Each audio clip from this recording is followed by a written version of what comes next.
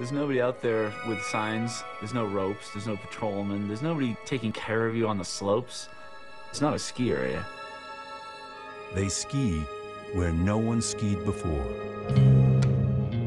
It's not like riding lifts. It's real big mountain skiing. They ski where the sport of skiing can still be an adventure. Just wanted to keep pushing it and see how big and steep you could go without killing yourself. I was setting off class three avalanches, six foot fractures. You can accept to die for this. You don't want it to die. But extreme skiing is a way of life. It was my way to become a man. They ski where the risks are great, but the rewards are greater. If there's no risk, there's no adventure. I think adventure is a great part of life.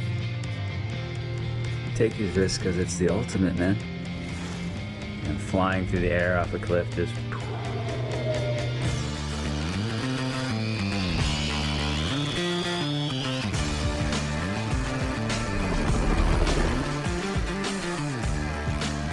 Everyone else is going, you're crazy. You've got no fear.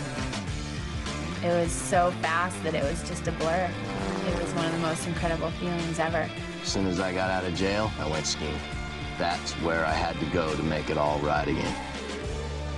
This is the story of a band of skiers who found their calling in the big mountains.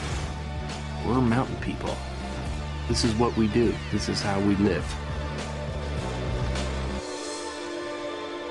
I tried to become a normal person and have a normal job, but that didn't work.